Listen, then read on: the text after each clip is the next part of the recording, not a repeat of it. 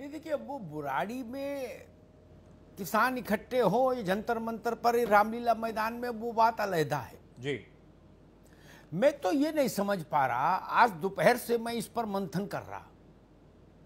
इतिहास के पन्ने अपने मस्तिष्क में पलट रहा था कि ऐसा बचपना कभी हुआ क्या? अरे जब परमिशन देनी ही थी तो परसों क्यों नहीं दे दी? ये झंझट कर आया क्यों? कोरोना में ये आफत क्यों की? किसान के साथ जूझा जाजी क्यों हुई? करोड़ों रुपया खर्च हो गया। कहीं बाँस लगाए, कहीं बल्ली लगाई, कहीं गाटर लाके पटके, कहीं कुछ किया, कहीं कुछ किया, है? हज़ारों की संख्या में फोर्स का मूवमेंट करा दिया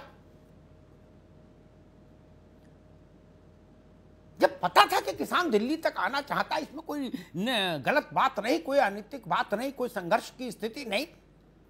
दिल्ली किसान की, किसान दिल्ली का। क्या दिक्कत है? मिल, मिलना चाहिए। लोकशाही है, लोकतंत्र है, सबको सबसे मिलना चाहिए। और सत्ता में जो भी हो, उसको सबसे बात करने के लिए तैयार रहना चाहिए। जो बात केंद्रीय कृषि मंत्री ने आज शाम को कही, तीसरे पहर, वही बात परसों क्यों नहीं कह दी परसों कह देते, झंझट ही नहीं होता।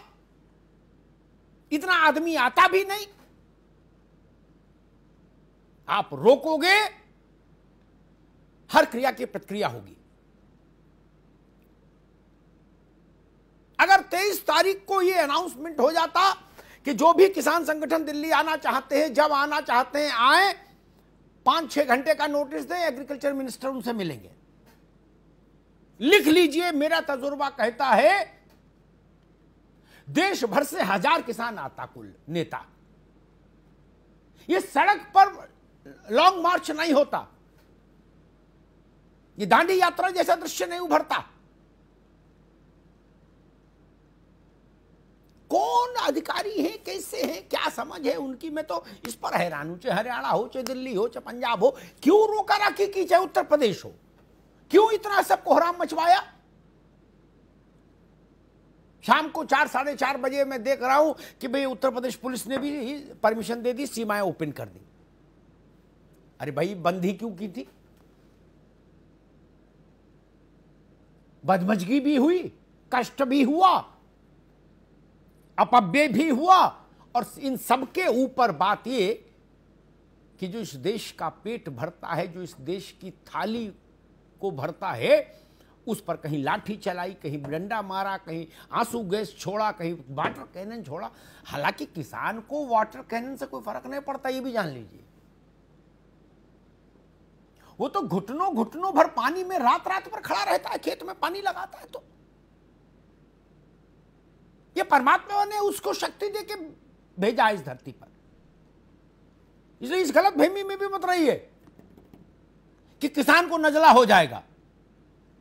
पानी चलाने वालों, पानी फेंकने वालों को नजला हो सकता है, पाइप पकड़े, ठंड लग जाए। किसान को नजला नहीं होता। वो तो कुल्ला भी करता है तो ट्यूबवेल के पानी से करता है। आप वहाँ खड़े हो जाओ तो बह जाओगे, इतनी तेज धार होती।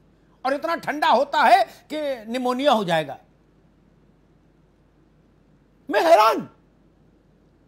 कैसा निर्णय? अटपटी बात। यह मर्यादा कहा आ, के साथ काम हो सकता था। जो मर्यादा को तोड़ने के बाद अब किया जा रहा है।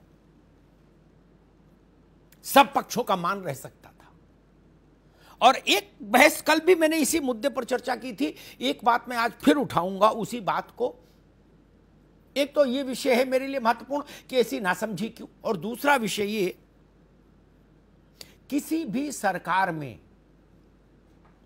हालाँकि हर सरकारों में मुझे यही तर्क मिला, जब भी जो सरकार रहे, हरनाम भाई, कोई आंदोलन हुआ, उसने कहा कि हमारे विपक्षी भड़का रहे हैं। क्या? यह साजिश कर रहे हैं। मैं हमेशा कहता हूँ, पूरी दुनिया साजिश कर रही, मान लिया। साजिश को रखो किनारे। मसला क्या है, आप उसका समाधान दे दो, साजिश करने वाले अपने आप फेल हो जाएँगे। साजिश करने वालों को ढूँढने क्यों निकल रहे हैं? कोई साजिश करे। किसान की समस्या है समाधान दे दीजिए बात खत्म। या तो आप उसको समझा दीजिए या वो आपको समझा दे मान लीजिए। ये ये लफाजी ठीक नहीं कि फला जि, जहाँ जिसकी सरकार है वो दूसरी पार्टी को बता देता उसके यहाँ कुछ हो जाए। बिल्ली रास्ता काट जाए क्या विपक्ष की साजिश है। ये कोई बात है हुई? ना। साजिश क्यों सफल हुई? इसका मतलब अन्नदाता दुखी रहा होगा। तब ना किसी की बात में आया। और जो बात मान लीजिए मैं मान भी लू, एक बीच में किसान, एक मतलब बीच में हरनाम सिंह, एक तरफ़ उदयवीर सिंह, एक तरफ़ ओपी सिंह। तो अगर ओपी सिंह ये कहेंगे, नहीं, उदयवीर सिंह इनको समझा ले गए तो भाई आप क्या कर रहे थे? आप अंताक्षरी खेल रहे थे। आपने क्यों नहीं समझा लिया? और हरनाम सिंह आपकी बात क्यों नहीं समझे? उनकी क्यों समझे? इसलिए ऐसी बातें नहीं करिए। मूल मुद्दे पर रहिए। किसान की समस्या क्या है? उसका समाधान कैसे हो? मुझे लगता है ये सबसे बेहतर बात होगी। ये ट्रोल करने से कुछ नहीं होगा। मैं देख रहा हूँ, कुछ लोग खालिस्तान तक पहुँच गए। कैसी छोटी बातें करते हो? हिंदुस्तान को जोड़े रखने में, हिंदुस्तान को ज़िंदा रखने में जितना बड़ी कुर्बानी किसान की सेना की है, उससे बड़ी कुर्बानी हमारे किसान की है। कितनी छोटी बात कर रहे हैं कुछ लोग? बता रहे खालिस्तानी आ गए। किसान के साथ ऐसा व्यवहार उचित नहीं है।